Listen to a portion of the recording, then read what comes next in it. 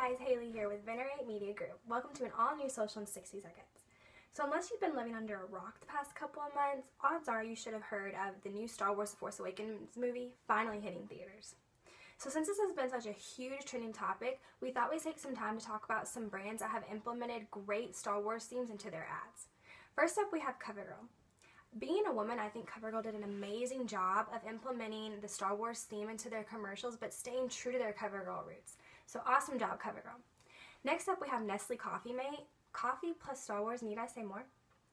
Finally, we have Kraft Macaroni and Cheese. They had a hilarious Star Wars themed commercial that featured a little boy questioning his father's choice of having a Star Wars and macaroni and cheese collection.